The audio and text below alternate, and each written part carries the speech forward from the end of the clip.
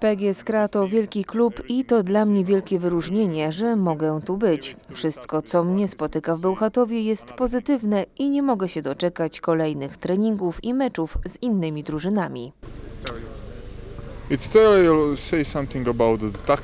Trener powiedział nam trochę o taktyce, o tym jak mamy grać i jaka jest filozofia naszej gry.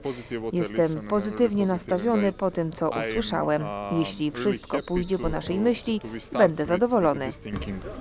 Uh? Jestem w Bełchatowie dopiero kilka dni. Miasto jest ładne, miłe. Lubię takie miejscowości. Łatwiej jest się zrelaksować, odpocząć bez korków. Nie ma wielu ludzi. Myślę, że będzie to dobry sezon. Jestem tutaj z dziewczyną, ona też jest zadowolona. You are here alone or with your girlfriend? With girlfriend, with girlfriend. And is she okay with, with being here? Yes, of course, of course. What are your plans for uh, for the next next week? Because uh, trainings are, are starting and you have to be prepared for the, for the season. For sure, for sure. Next two, three weeks. Na początek czeka nas 2-3 hard work tygodnie ciężkiej pracy w siłowni i na boiskach do siatkówki plażowej.